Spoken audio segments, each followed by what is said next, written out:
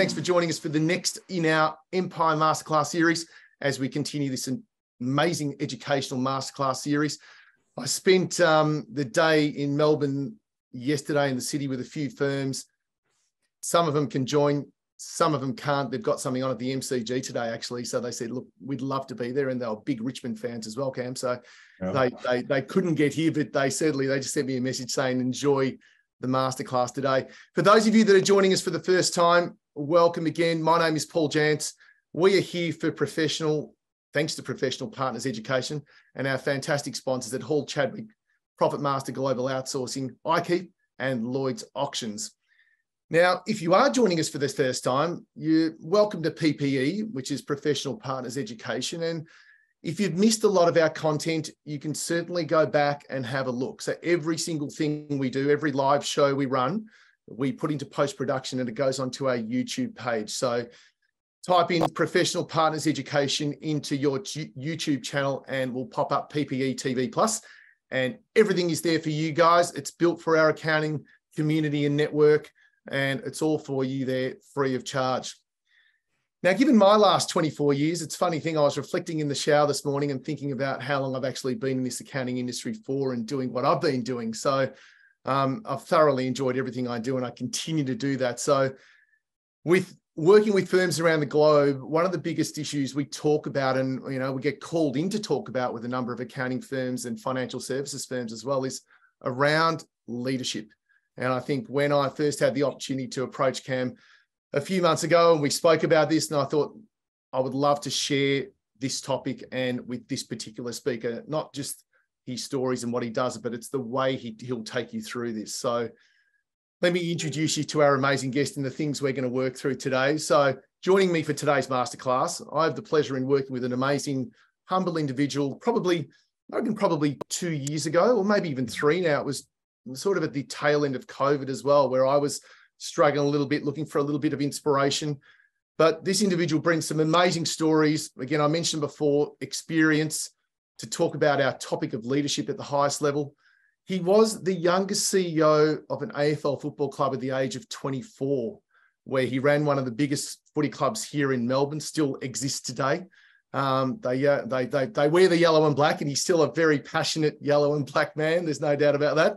and then spent probably the last 25 years of his life as a CEO of Melbourne Football Club, Fremantle Football Club. Um, and, and we're going to hear all of the, probably if I go back a step, ran these footy clubs probably when they weren't at their best states. You know, they were in uh, problematic states, it's probably fair to say, and took on a massive challenge. He's going to share the wins, he's going to share the mistakes along the way. And you guys are in for an amazing hour, that's for sure what you're going to hear is we're going to talk about some, let's call it how he'll challenge you and your emotional connection to build an intellectual connection. He'll talk about how you can be exposed to the idea of having a trademark. Who are you practicing at being? You'll learn the term Ancora Imparo and borrow freely, apply uniquely. And people do not experience intentions they experience behaviors.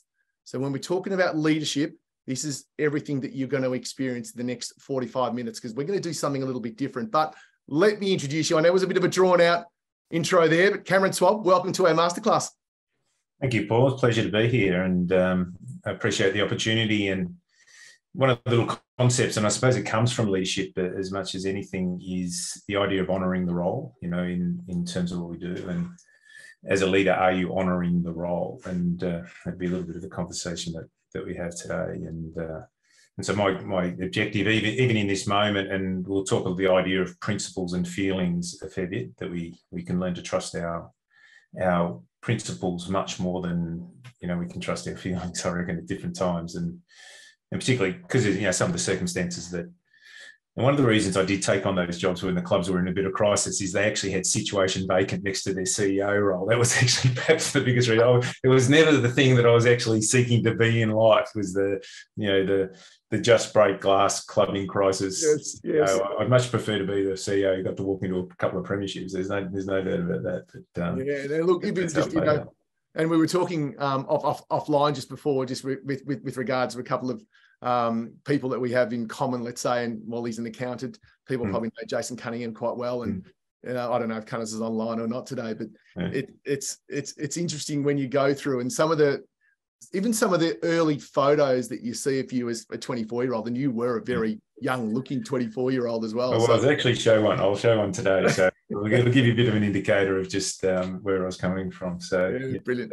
No well, to all of you guys joining, and I know there's more joining coming in every second, which is fantastic. Now we're going to do something a little bit different and quite unique. So this time I'm going to sit back and I'm going to hand over the full reins to Cam for the next 45 minutes or so. Um, I'll join you guys back online for Q&A and we'll definitely take some questions to anything you've got. So what I'm going to encourage you guys, and I'm sure Cameron's going to do the same, um, take notes. I'm a big note taker. I'm going to sit here and I'm going to take notes, uh, whether it, you like to put them in your journal. Uh, Cameron's a big one on his journals. I tend to type them out in my notes and then I run through them and I allocate time to actually go through them in detail and reflect on them. So I'm going to do what you guys are going to do and and and be fully immersed in the experience of the next 45 minutes. So, mate, I'm going to switch off my camera. I'm going to switch off my volume, volume, and I'm going to um, join you. So I'll let you take over, mate. Well, thanks very much. And yeah, we, we decided to go this way. I thought that um, what I do is I, I, draw on probably some of the core concepts of uh, some of the masterclass work that I that I do, and and and really majority of the stuff that I, it comes from is I, I probably with, without knowing it I think I present more as a tradesperson than as a than a sort of a leadership philosopher. Although I've, I've actually studied leadership a lot and I think it's quite an interesting thing. Even asking yourself the question what do you need to be a student of is, a real interesting thing. And because my, my first thought in life when I, I decided to be a student of something happened by accident I was watching Kevin Sheedy, actually, it was. I was a Richmond supporter, as Paul mentioned. And uh, my father, Alan Schwab, was secretary of Richmond when I was a kid. And, and I was obsessed with all things footy growing up. And uh, and Kevin Sheedy was on World of Sport, the old World of Sport on a Sunday, and he and he and he won the handball championship, and he was explaining how he was handballing, and he was handballing in a way which no one had ever handballed the ball before, and it's actually it was called the rocket, and it was sort of over the top, and and I remember when they turned away from him and went back to the panel, someone said, "Oh, that, that Kevin Sheedy, he's a, he's a he's a student of the game," and, and I reckon I was about ten or eleven, and I, and I pretty much made my mind up that was a pretty good thing to be a student of. And, and then over time, and the student of the game certainly created opportunities for me. And I, I, reckon even obviously growing up in the environment as I did with you know a, a football person, that was that was a part of it. And, and and then in time, it was I thought, well, the student of the game will only take me so far. And, and then really it was, I found myself more, and it was probably pretty related, saying, okay, I'm a student of high performance or a student of human performance, because it was an elite sport environment that I was that I was in. And and then, then in time I realized that it was actually the thing I was becoming a student of was human behavior and, and with complex things. And, and we're complex, you know, in terms of our own complexity, but even that idea of having a principle of honoring the role is basically just saying framing you know where you might be at when you get a bit nervous or you know you've got to present or no my, my, it's a simple idea i'm going to honor the role. And so what you need to be a student of will be one of the questions of it. And so because learning is actually hard. Any any form of learning is always going to challenge you. And because it's normally setting aside some belief that you already have and and are you prepared to swap it out for perhaps a new piece of thinking? And, and i'll talk a little bit about that uh, I'll use some slides and some ideas which which come from it, but it, as I said, it comes from a, a place may, mostly as a, a, lived experience and but also a studied and the sense making which comes from it, which is one of the main things leaders have to be good at is, is things like sense making, meaning making, you know, making good, all, all of that that type of thing, making a sense of place for people. All those things are all, all key things that we talk to. And so the talk, and I'll just click this on now, the, the, the talk's called In the Arena. And, and, and I love the idea of In the Arena. And it comes from the Theodore Roosevelt speech called The Critic. And, and I'd really recommend you look it up. It's the critic. People, a lot of people will be very familiar with it. And it's this idea: it's not the critic who counts; it's the person who puts themselves into the arena. And and this is a literal photo of a group of players, Melbourne Football Club, entering into the arena in in in you know onto the MCG, you know, which amazing stadium that it actually is, and it's a and and the idea of being in the arena is the arena in my summary of this speech is the arena promises many things. And but it never promises to be fair. That that would be one of the things i take on, on leadership. And, and that's a line I, have taken from Neale Daniher and i'll speak of Neale a little bit. And, and this is this is one of those wonderful images of you know a captain entering into the arena leading a group of, of people and the, the, the one thing about afl football which which is a little bit unique. We, we draft our players at 18. And so we're drafting the most selfish human beings known to mankind, the 18 year old male.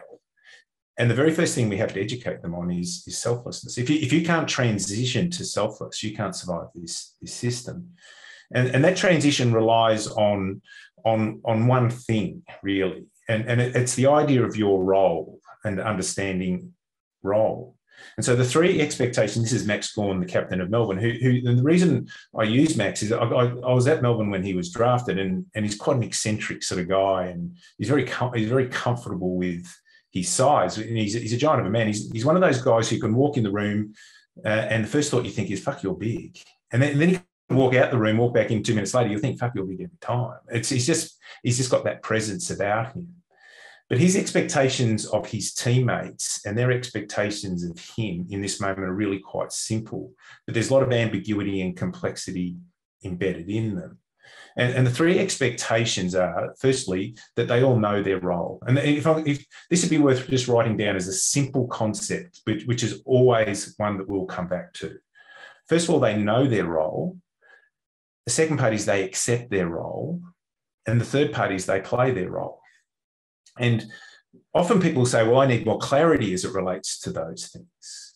Well, the one thing in this environment is, is, is clarity is very rare. It's actually a very difficult place to get to. And yes, it might be an, an ambition and outcome.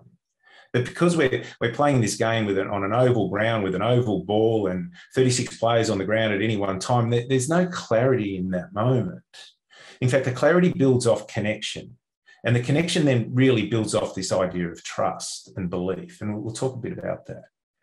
And so Max got to lead his team to a premiership in 2021, which was their first premiership in 57 years. And when the microphone was put in front of Max in that moment, he didn't talk about him or his team. He talked about the shoulders of which he stands on, which were those people who got the club to often very difficult phases during that 57 years. And I was thinking to myself how much he has come on as a person and that that, that leadership has actually made him the person that, that he is. And, and he was a captain at a relatively young age. But it always didn't go well for the for the club, and, and people would know that there is a fairly storied um, story of disappointment before they got to have their success. And, and this is the same play with head in hands. And I think we can all relate to this a little bit. And in one way or another, I often think to myself, you've never led unless you've woken up in the morning and your first thought's fuck that that that and I'm sorry if I use that word too much, Paul, but it, it, it's it is that sense of it. But we also know that we can't show up that way. We're not we're not measured by what's going on inside us, which is normally a response to something which is happening around us. We're measured by how we show up. And so one of the critical skills, if you like, as leader, is we have to become good at showing up, but not showing up in any sort of make believe way but showing up in a way which is actually an extension of who we are. And that was perhaps one of the great lessons that I had to learn. And, and it took me a long time. And it might have been that I was young. It just also might have been that I wasn't very good. But one thing I talk about leadership as it relates to, to culture, particularly, and that's where we, we're focused on it, is it's, it's a skill that is learned and earned. It's learned and earned. And, and we all get to do it by doing it. And so it's moments like this, and this is the same team, which you know the makeup of the side would have, wouldn't have been dramatically different. Might have been six or seven players different to the one which won in the won the premiership, which is probably a fair whack. But they just got thrashed in a preliminary final in this is in 2018 in Perth, and they literally there's high expectations coming into the game. They almost couldn't get the ball off the West Coast, who then went on and won the premiership that year. And this is a moment which I think most teams find whether they're up for it. And so one of my favorite lines is this simple one what stands in the way becomes the way. because each group has to find its own way and it finds its own way through its own constraints, its own.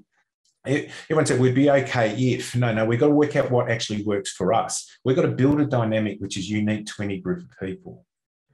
And this is so this moment, 2021 and their premiership doesn't happen without this, without this loss and this reassessment. In fact, the next year they almost fell back to near the bottom of the ladder. 2020 average year, but a lot of sort of introspection. It sounds like a fair bit of tension in the club. And then 2021 worked it out, and you know, and they're still in they're still in the mix now. That'll be it'll be a tough one for them, but they're they're a competitive.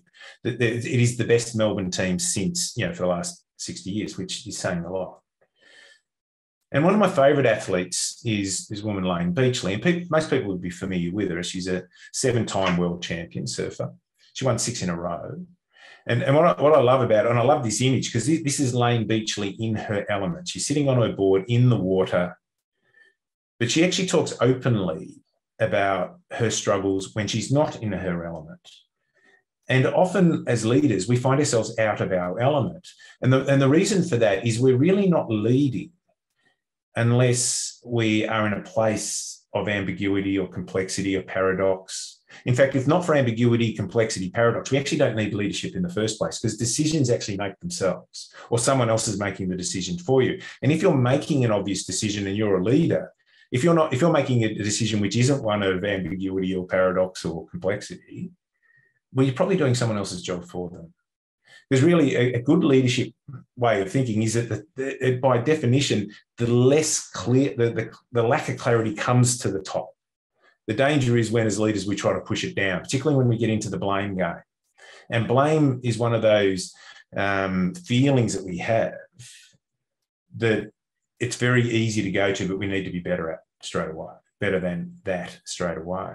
Because one thing about blame is it finds friends really quickly and, and it's easy to sort of you can you can you can you can build connection through blame but it's the unhealthiest form of that. And losing you know particularly in sport where there is a lot of finger pointing and and we have a very obvious outcome it's a very big scoreboard at the mcg is often to look at that scoreboard and, t- and say that scoreboard's not telling the story that we think we're on track despite what that scoreboard says. Well that's that's the leader dealing into the ambiguity but Layne Beachley, the reason I love her stuff is she talks openly about her challenges when she's not in her element. And, and, and in many ways, you know, she will, she will talk of that with more pride than she does even her great success. And the little bridge that she's prepared to cross on, a, on every time she speaks and sort of models it, I think, in many ways. The, the bridge she crosses is, is, is one of vulnerability. And there's a lot of talk about vulnerability. Brené Brown and all her work and you know, she, she will talk openly of that. And the vulnerability thing, and the, the reason I, will I'll go to it pretty early in the piece is, is most leaders I speak to say that they want to be seen as an authentic leader. Well, there's no authenticity without vulnerability. Because the one, the one thing that we, we don't we don't want leaders who are knowers, we want leaders who are learners. Whereas every instinct is you think I have to have the answer here to walk into a room and say, look, actually, uh, this is a really complex issue we have, we've got, we're dealing with here. And I don't have the answer, but I'm confident that the answer is in this room. Because at any one time, you will only ever bring one set of one set of eyes, one set of ears, but most most importantly, you only ever bring one imagination into the room. And so to come in as the learner in that moment, as someone who may facilitate and build confidence in your team to create the answer is one of the great challenges of leadership. Because that's that little piece of vulnerability that you're showing. When we all we all sort of signed up for this thing thinking that we you know we're the people expected to have the answer. And often you're being asked questions or coming to deal with deal with issues that you've never thought about in your entire life and so what I love Layne is she, she'll talk openly about her struggles with depression, with anxiety. She talked about her issues with alcohol. And so she's someone who shares her vulnerability as a means for us to grow and, and there's embedded courage in that. In fact, there's no vulnerability without courage. And in fact, if you know, an interesting thing, and I'll talk a little bit about this, is that I, often, whenever I'm faced, I was faced with a difficult situation as, as a leader, in the even in the midst of a negotiation over a player trade or something like that, I, I would just get a pen out and I'd write at the top of the page, what, what does this situation expect of me? What does this situation expect of me? and then I'd write then I'd write down four words. And the four the four words I write, the first one is brave. What, what would a brave leader do now? And often you only you know whether you're being brave or, or not in that moment. And the second one is what would a calm leader do? So the third, second word's calm. Because I've never made a good decision in my life when I'm angry, like at any level. Even when I'm angry with the dog, angry in traffic. Never made a good choice. And if you're looking at modeling behavior, you think about leaders who you see get angry, you know, and sometimes people used to play to that and, and they create intimidating environments. And there was certainly, I grew up in that era a little bit, I must admit. And the, and the third word is humble. What would a humble leader do? Because it's easy to make it about you, but it's not about you. And so the humility which comes through in that moment is, is fundamental. And the fourth word, and I've only just recently started to, to talk to this a little bit, and I think it's mostly through COVID, is, is compassionate. What would a compassionate leader do now? And often self-compassion is what, what's needed, and I'll talk a little bit about that. And so even in someone looking at, at, at Layne now and her as a surfer and modeling the behaviors that we're talking about, is that one of my favorite little lines is just simply this one, you, you can't stop the waves, but you can learn how to surf. So, so the waves of challenge are coming your way from a leadership perspective. You can guarantee. In fact, they're probably rolling downhill somewhere like now. The next big issue you're facing is probably already starting to emerge at some point and your capacity to deal with it in that moment is is is the making or breaking of you as, as a leader and you're not always going to get it right but when you get it wrong you learn so we either win or we learn is my my take on that and and this wonderful image of uh, all this this the, all the images I use, the sporting ones, are captured by a guy, Michael Wilson. I've got a great respect for his work, and he's captured Eddie Betts in this this moment. And and those who know their football, Eddie Betts is perhaps the most joyous player who's ever played in the history of the game. He, he almost played the game with a smile. And, and he's one of those guys, he, his deeds were so remarkable on the football field that you almost laughed when you watched him play. It was more, it was more than just appreciation of talent. It was almost comedic, you know, it was Roadrunner Coyote comedic almost, you know, it was that, that capacity. But this is a photo which is clearly not one of joy. And in fact, it, could be a photo which is taken in a game of football of um, a player missing a goal or losing a game, the, the, the usual sort of feelings of, um, of doing something, you know, of, of, disappointment in a moment, if you like. But this moment of disappointment is he was having a shot for goal at, against Port Adelaide at, Adelaide Oval, one of the most beautiful stadiums in the world. And someone's thrown a banana at him and he's seen it and I, I think this is a image of exhaustion, of exhaustion. Because one thing that Eddie's also been prepared to do is talk to the trauma of his life, the trauma of not just his, but obviously other Indigenous people. And some people don't like that. But he knows he's going to have to talk about it again. And so in this moment, he's, he's, probably coming to terms with the fact that, okay, this is no longer about the game of footy I'm just playing. This is actually going to, I'm going to have to step into that space all over again, even though he's probably exhausted with it. But he's actually, the courage that he actually shows, he's now doing this full time for a living, as in trying to support Indigenous people in, in the way that he can. And he's, he's quite a remarkable person. And, and, I, and I look at this and, and I think of this little line here it's the hard days that define us and, and it won't be day one, it won't be day two. It'll be it'll be the repeating pattern of the hard days. We we've all had moments, and I'll talk to a couple of those, but it, but it's often the the layering of them, which is the difficult ones. If it if it if it's one hit, we can take it, but it's a second, third, fourth, fifth, and and that's which leads to this sort of leadership exhaustion, if you like. And we, this is one of the things that we need to be good at is actually how we deal with that. And that's personal. And I'll, again, I'll talk to that.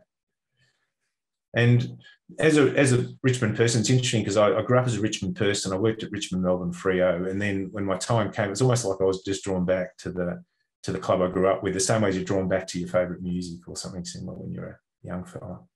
And, and I, I love this image. And this is the Richmond players honouring. And it was a choice made by the players themselves to honour their Indigenous teammates you know, prior to a game at uh, the MCG, the Dreamtime game playing Essendon. And, and I, I, think this is one of those images which will stand the test of time. And in fact, I, I, I just was uh, watching the footy the other day and it was in the MCG change rooms at Richmond and, and they had this image up on the wall. And it was, I don't know what other images they have on the wall, but they certainly had this one. And, and this is one of those that this this decision for the Richmond players, probably led by Trent Cotchin, their captain at the time, had had nothing to do with their president Peggy O'Neill, their CEO Brendan Gale, but had everything to do with them because they created the conditions for this form of leadership to evolve and happen and have the confidence in their people to do it. And, and what it says to me, this, even though this is a game of football, and ostensibly the only reason sport is actually played is for the game itself, this, this image will live far longer than what everyone will ever remember the result of the game being. In fact, people have almost forgotten it now. It's a couple of years ago. The Tigers did have a, did have a win, but that, that won't be remembered. And, and one of the, the key decisions as leaders that we'll have to make is understanding the difference between what seems to matter and actually what truly matters. And what seems to matter tends to be the noisiest stuff. And, and one of the choices we have to actually make am I spending my life on the seems to matter stuff or the truly matters stuff? And the truly matters stuff is the stuff which will take you to a place of courage. There's, there's no doubt about that where it's going to be the most testing part for you because it normally relates to change and it might be changes it relates to culture it might be changes it relates to plans. There might be change to actually say look i actually pushed us in this direction and i pushed us in the wrong direction and i've recognized that and i've made a mistake. That might be what truly matters in that moment. And we've all done it. And on a similar sort of theme i, I just I, I love this image. And it and it's a oh, go back one. And it's a the classic sort of uh, um, the young fella meeting his heroes, you know, and we've all we've all had experience of this type of thing, I think, in one way or another. But I love that it's you know Collingwood coming out on the ground, and, and the timeless nature of sport is that there's been young men wearing black and white striped you know, jumpers for the best part, you know, the most when they're at their absolute physical peak of life, you know, for the best part of 150 years, and then they share that, and that's the shoulders of which we actually then get to stand on.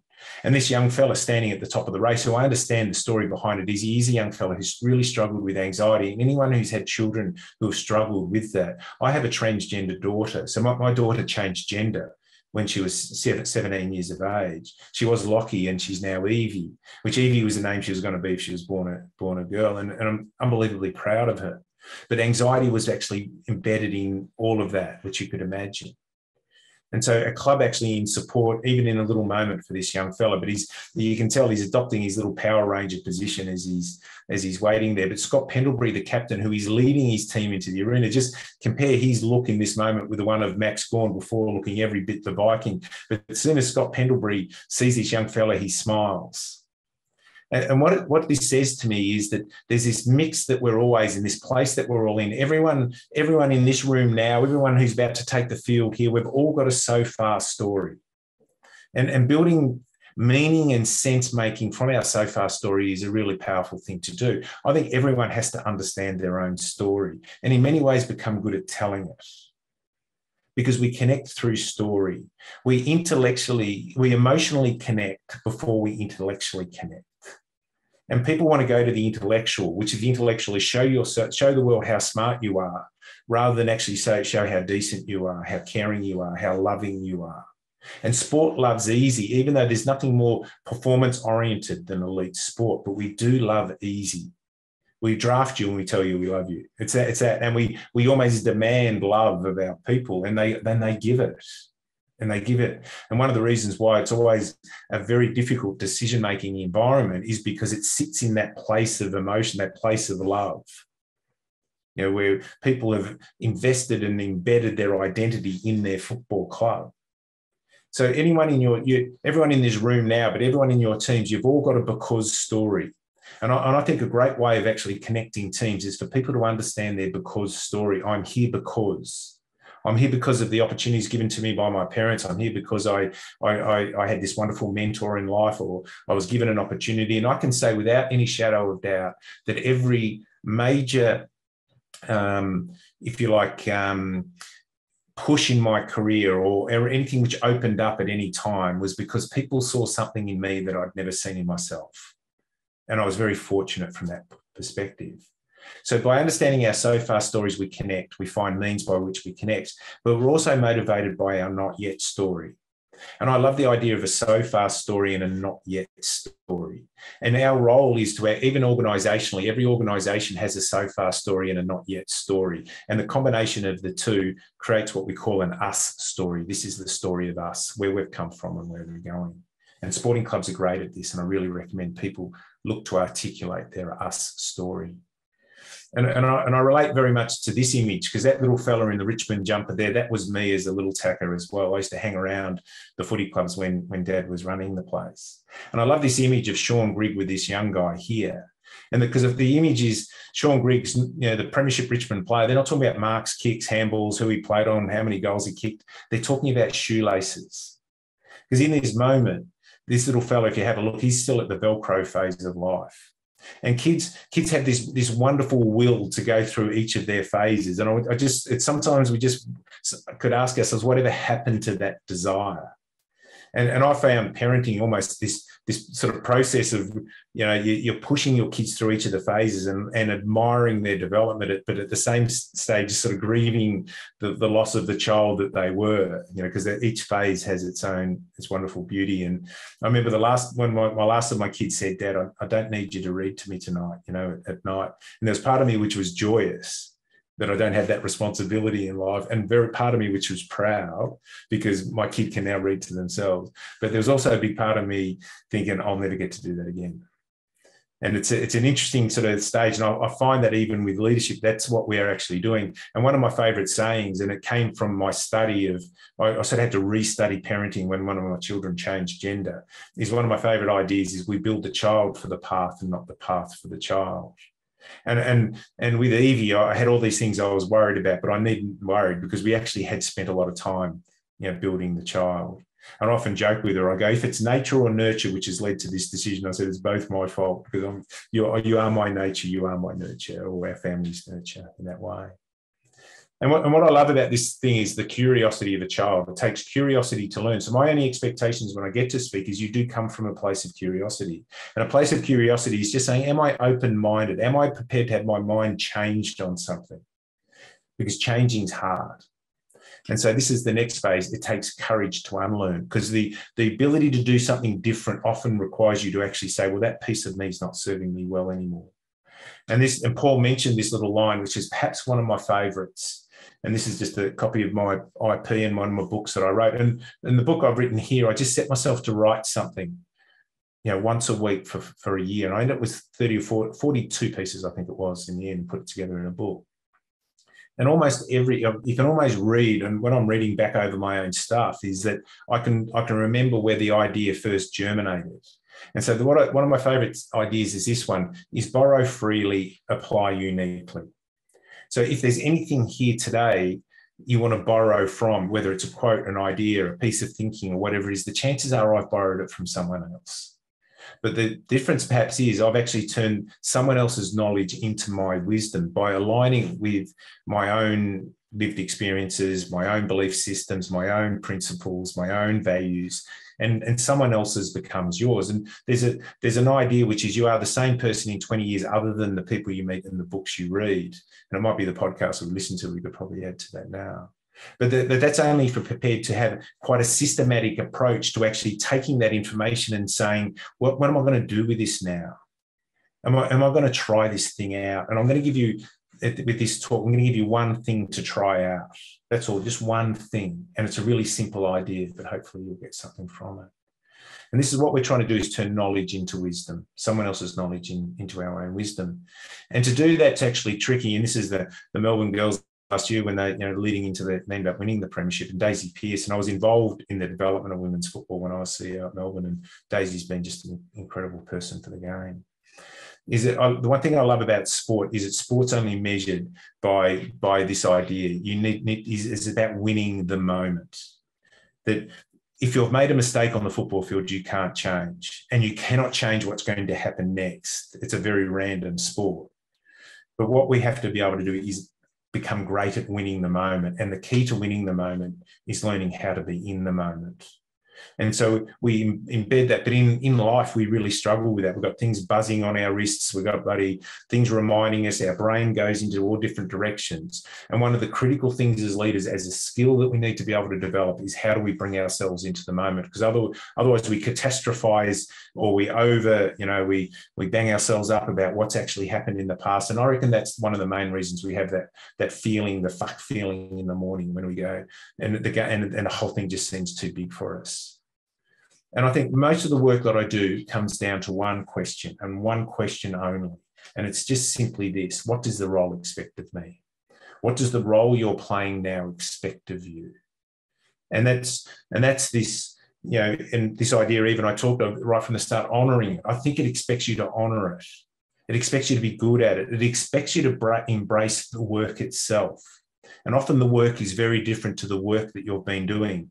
The work is maybe you've got the opportunity on based on some form of technical capability, whereas now it's about you, the leader. That's how you measure. Yes, and the technical stuff needs to take care of itself in that sense. And the fundamental expectations we have, and I got this is the All Blacks and Richie McCaw, and, and I got to study with them for, for periods of time. And, and it was one, one of the most wonderful learning experiences I had. And the thing I walked away from the, the time that I spent with them was this was just the trying to answer this simple question. What is the optimal environment that enables this group to perform at its best? What are the conditions that we're seeking to create to enable this group to work at its best? Because every group has its own dynamic. Every group has its own, it's its own sort of rich hormone soup of behaviors and different people. And you and as leaders, we have to adjust to that dynamic you know, if we come and say, no, this, this is the way it's done here, well, we're, we're basically, we're not, I, there's this idea I think is, are you, as a leader, are you an, um, an unlocker or an extractor? Well, the, the leadership of, of our generation is about unlocking performance. Yes, there might be a bit of extracting from time to time, but I grew up in an environment where a lot of people was push, push, push, push. That doesn't work anymore. And if you try to play that game, mate, you're not going to win. So, it, yes, we have to be creating conditions which unlock performance in people. And for that, to that degree, and this is the Matildas, and there's not too many sporting teams are going to play with more pressure and expectation on them over the next month than this group. And, and I've done a little bit of work with these guys in, in football over a period of time. My brother Brendan's been very involved in it. Is that the one thing I do know in any form of uh, organisation is that no organisation can outperform um, can outperform its leadership. You can never outperform your leadership on a consistent. You might have moments where you do, but not consistently. And so, from that point of view, and this is some of the lessons that we, we learned before, and I, I think uh, Paul mentioned this about me being the young guy, a young 24 year old CEO. Well, this this is this is the image of me as the, the 24 year old CEO. And I, and I look at this photo and I can't think of myself as being in anything other than a boy band at this stage. I look like a 19 60s boy band or something at the time. But I think it was actually going for the Gordon Gekko Greedy's good look, to be honest. It was that period of life. And the interesting thing is that when I when I took this role, my my because I grew up in the sport, and there's a great Richmond coach by the name of Tommy Hafey used to come around our house every Sunday morning. My dad and he would eh, would replay the game to each other, talk it out, and I'd sit there and listen. As a ten year old kid, you can pretty much get in anywhere. And I spent my whole childhood in and around the Richmond Footy Club, and this this tiger skin sat on the boardroom table of Richmond for the best part of fifty years. You can't imagine it happening now. But as a little fella, you can imagine I was just obsessed with it. And then a few years later, I'm getting my photo taken as I'm now the the the, the, the CEO of the footy club. And my father had then gone on and become the um, executive commissioner of the AFL. And in the era that he he was at Richmond, they won they won four premierships when he was there. So as a kid, there were four times in my childhood where I woke up on a Sunday morning and the premiership cup the Tigers had won was sitting on our kitchen table at home in Mount Waverley.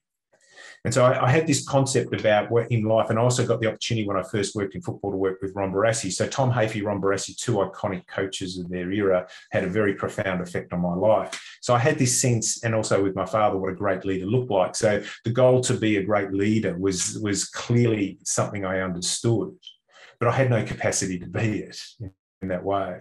And, and probably my first go at leadership was some sort of mosaic of all of those people. And that's probably not an unhealthy way because you've got to find the way which works for you.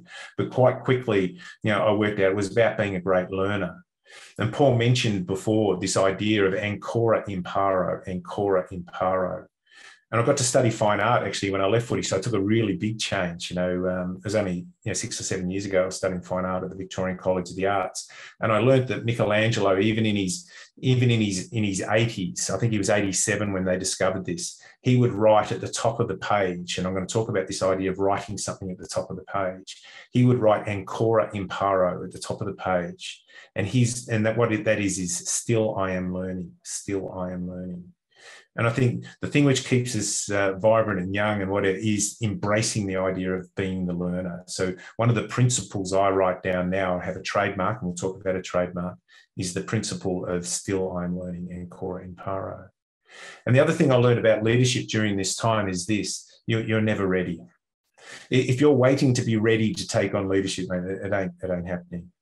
You, know, you, you, I used to think you, what you do is you become good at something, then you take it on you know somehow you could study being a leader before you become that. you learn leading as you're leading and you learn through failure and in fact i think i gained my confidence as a leader through failure and coming through that failure and still being okay and still being prepared to take it on again and then and then probably the harshest failure you you learn as a as a leader in elite sport and it's a pretty cutthroat business and this image is then taken say 25 years after that previous image almost 30 years actually, after the previous image. And I'm walking out of the Melbourne Football Club. I'd been sacked, just been sacked as CEO, and I'm walking out of my press conference with this uh, at this moment. And so, so I had a wonderful time in the game, and it, and it, and it taught me so many things. It gave me, but often the best and worst of times would be be fair to say in regard to that. But if someone was to say, you know, once my head cleared, once I, I got my sort of reframed again where I was at, if someone said, what was the number one thing that you'd learned in the in the last 25 years, which was different to perhaps you thought it was going to be when you took it on? It was just simply this, that it's all on you, but it's not, it's not about you. Because we leadership, we often personalize it and we we make it about ourselves, and that's a really dangerous and damaging place to be. So the focus we're going to have in, in, talking it through, and I love this little idea, and this is this is the wonderful Geelong captain with young Sam, you know, the water boy at Geelong after the after the game, and I think he epitomised what good leadership potentially was. And so, from Sam's when I when I look at this, I think now, particularly as someone who teaches leadership, I, I, I actually thought when I first started out, it was all going to be about teaching leadership capability, almost at that intellectual level. But what, what I've since learned is that it, this is actually mostly about this, about having a leadership consciousness, about having a sense of ourselves in, in, in regard to it. And, and I think of this across three domains. And this, uh, this, this if, if when I teach leadership, these are the, the layers that we teach in regard to it all. The first one we talk to is mindset. Is what, what, what is your leadership mindset? You know do what what how do you go about learning? How do you go about growing? How do you how do you make every day of your life if not a victory but at least a learning in that sense? Because that's what it will be for you. And, and then we talk about leadership skill set. This idea of do the reps have the system do the work. And if you're going to read one book on that read atomic habits by james clear. We don't rise to the level of our goals we fall to the level of our system. So what is your leadership system of operation and the third one is this idea of leadership identity, and I'll touch on this just to, to finish off this little chat. And leadership identity is, is our sense of self in regard to it, and the objective and the goal to make our leadership a natural um, expression of who we are, and that is and that is a challenging place. And most of the time, I think of leadership in a really simple terms. I, I think of it as a conversation the, the ones that we, this is a conversation we're having now, the conversations you get to have, the conversations you choose not to have, and often the ones, the conversations we walk past when we shouldn't. And so if, if I'm, and, and again, Paul touched on this idea, and the reason why this stuff's important is that people will often talk to talk to their their intentions as a leader. This is my leadership intention, but really, what we've got to do is understand that people, what they do is they actually experience our behaviours. And so, yes, you have to be able to you have to be able to try and work through how you seek to lead. How you seek to lead is just merely an intention, but recognize that people will experience us in different ways and we have to be aware of how they're experiencing us. And I got feedback, for instance, at one stage I was, I was very intimidating, and it would be the last thing that I would actually seek, given that you know my, my mindset around leadership and what it is. But that's how people experience me. And so one of the little, and, and I'm, I'm not someone who gives advice. That's the one thing. And I think advice is basically you're becoming a uh, some sort of sage or whatever it is. I, I don't think like that. All, all, all, I choose to do in the work that I do is share ideas. But one of the main ideas I'd share with you is this: is stop telling and start teaching. And why that why this is a fundamentally important thing is that if we're going to build the child for the path, not the path for the child, and it's such a safe and easy place to take ourselves when um, when we become just a teller. Almost, if you become a teller and not a teacher, you're almost denying your the person who's working with you in that moment the opportunity of growing. And, that, and again, I think that's dishonoring it. And this concept again that I want to come back to is this idea here: is what is your leadership identity? How would you, and a good way of thinking about it is this if you've worked with a group of people for the next 10 years and you'd gone through the highs and the lows, you'd had your successes, but you, you had some near death experiences along the way. And you were to turn around, you were having a, a little bit of a send off, and the closest people are in the room. And you actually quietly lean forward into the little microphone they've set up for you, a little stage they've set up for you for your final speech, and say, Look, I've never told anyone but my leadership trademark is, and you explain what it is, and every single person in the room says, yeah, that's who you are. That's how we experienced you. And so we do this through the idea of a trademark. And why, why is a trademark important? Because a trademark will do two things. The first one, and I'll just explain the, the background and then we'll, we'll, we'll finish her up, is it's built on an idea which I first learned from when I got to work with Neale Daniher, and a lot of people would know who Neale Daniher is. And Neale, I was involved in his appointment of coach of the Melbourne Football Club way back in the day, and we got close. And Neale was a really tough person. He was he he certainly got that unlocker versus extractor. Mate, he might have been a bit more extract than unlock initially. I think he learned to be an unlocker in time. But he he had his little trademark was when it's all said and done when it's all said and done. So at the top of the, the page each day, he wrote, when it's all said and done. Because the line he loved is, when it's all said and done, more is said than done. And he wanted to be a doer in that sense. And then Neale is diagnosed with motor neurone disease. And, and every there wouldn't be a person who hasn't either directly or indirectly had an understanding of what a devastating illness it is. But his response to that is not to wallow. It's not to take himself on a trip to Italy, go live in Tuscany. He forms a charity called Fight MND, which has now raised over $100 million for it to help people with the disease, but won't help him. And anyone who's seen him recently would see the, the devastating effect, although he's had a longer period than most have in that sense. I think he's had it for 10 years now. So I think he's redefined this word, what's possible, what's possible. So the goal is you write at the top of the page your trademark. Then you ask the question, what's possible? What's possible today? And I can guarantee you won't find the, email, the answer in your email, in your inbox. And most of us have our inbox as some form of proxy um, form of a to-do list. And then the second question we ask ourselves, and this is another beautiful photo of Neale with, with his daughter Bec, who's almost become the spokesperson because Neale's lost his power of speech and she's a wonderful person. I've known again, she's a little girl. she's a little bit of a scallywag as a kid, but she's just the courage that to speak on her father's behalf, but at the same time find her own identity in it has just been unbelievably powerful. So the second question we get to ask is what's important? What's important? So two questions today. So you write your trademark, what's possible and what's important. The reason I do, I've worked through this and I mentioned before about studying some art. And this is one of my drawings that I that I did trying to trying to deal with. And one of the things I I, I had to work through my whole CEO life as someone who had clinical depression, and, I, and, I, I've only spoken openly about it in the last the last little while. And in many ways, I'm trying to draw that that that sense of it in this in this picture. But one of my favorite artists is a guy by the name of David Whyte, who's got this saying, when, when your eyes are tired, the world looks tired. And, and one of the things that I've then, in, in terms of writing a trademark at the top of the page each day, the words I write are these, just a simple one, of finding something.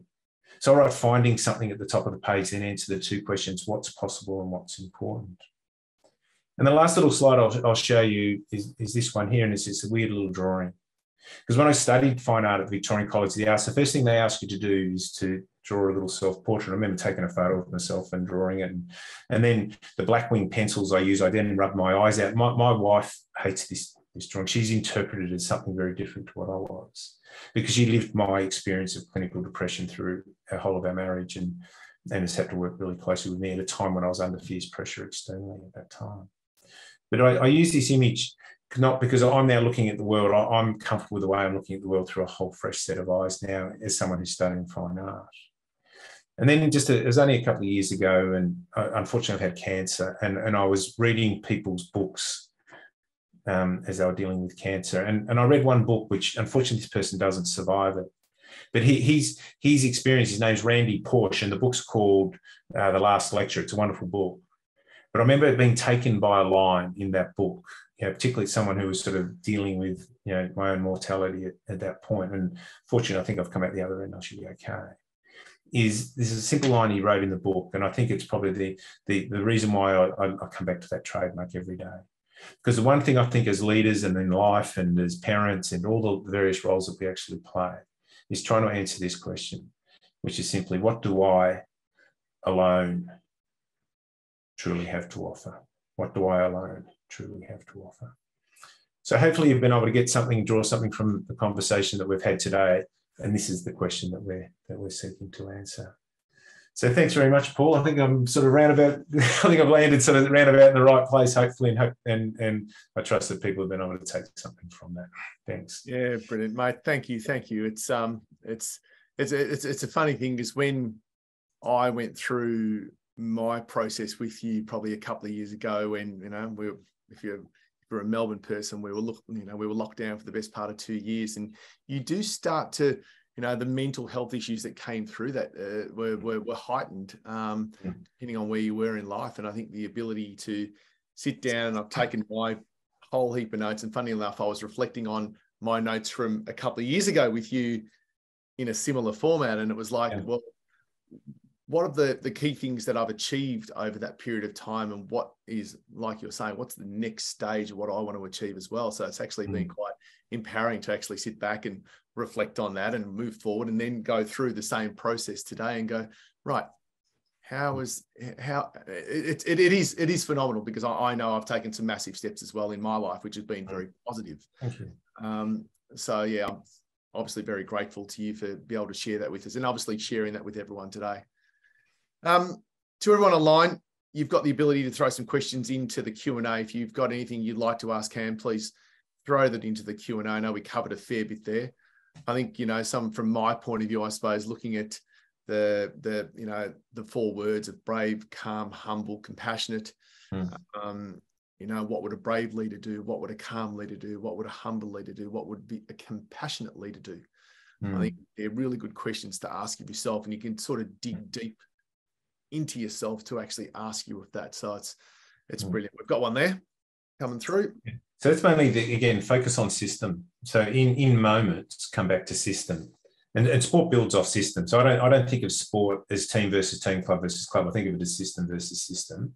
The most important system that we have is our learning system and so creating that inside our organizations because then we actually get to find out who we've got in the room by testing them as learners. Yeah okay. Because the number one thing that we're trying to have even in that sense is we want to have people who are prepared to take responsibility for their own development. Yeah.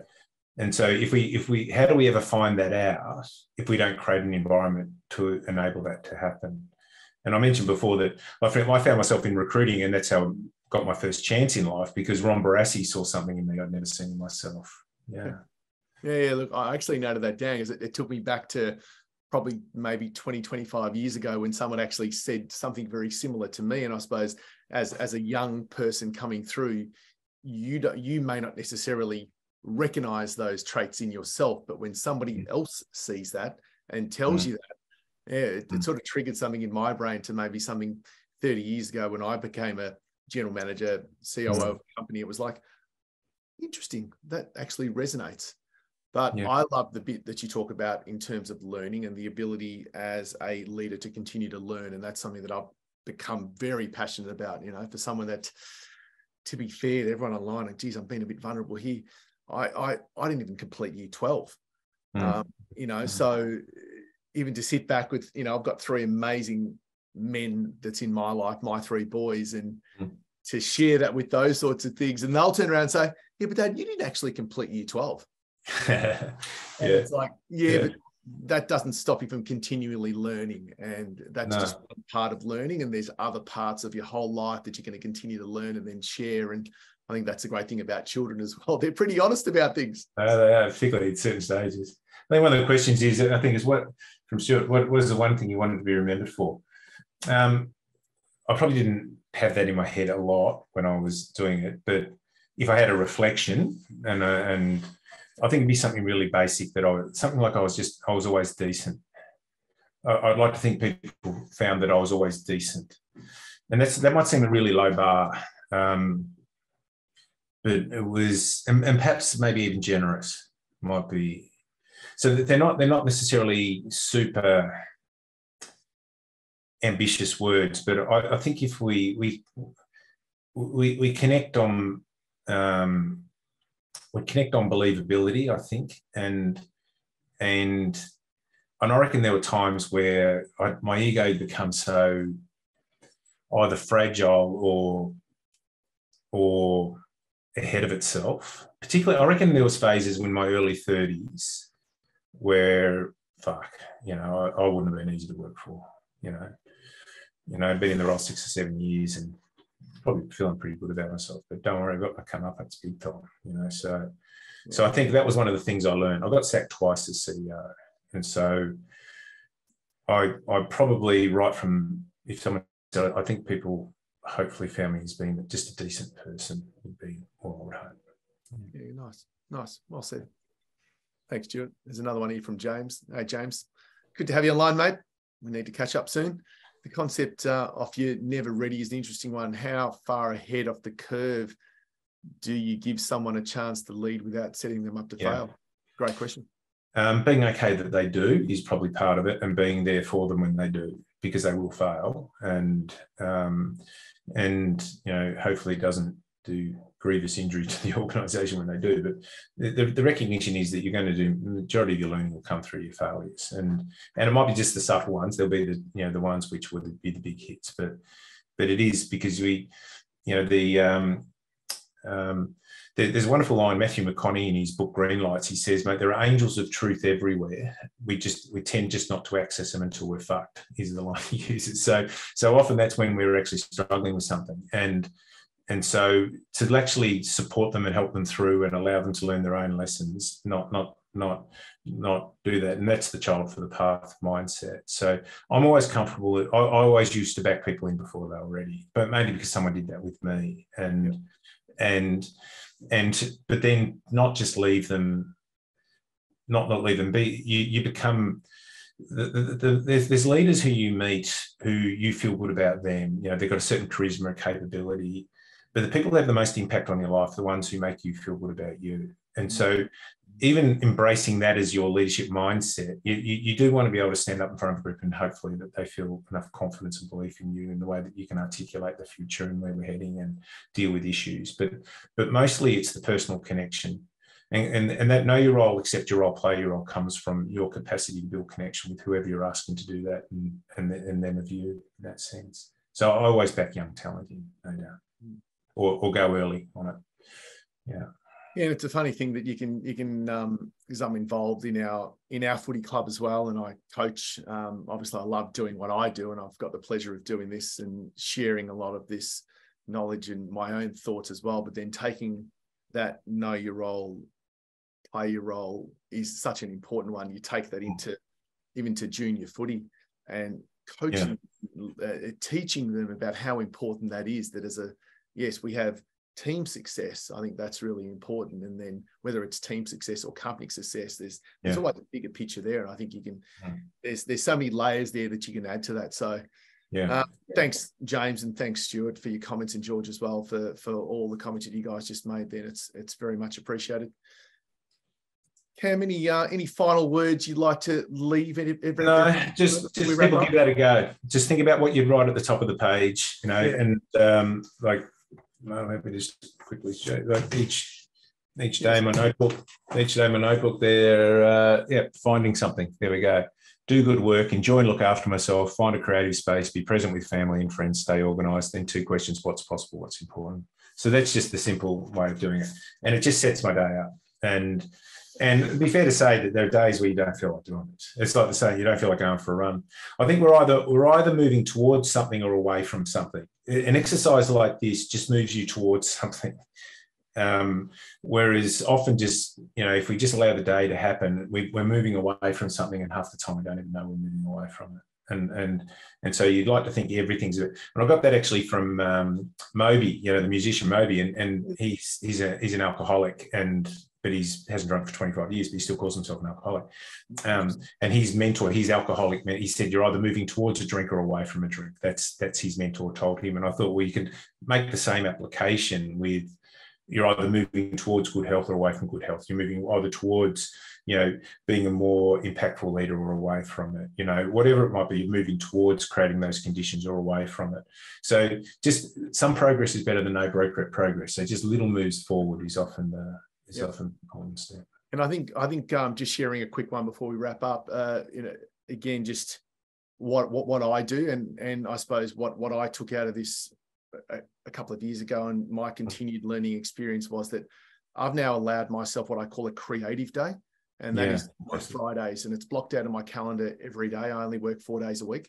Um, I've again trained myself that I can be really effective in four days, and I can have that one day to learn.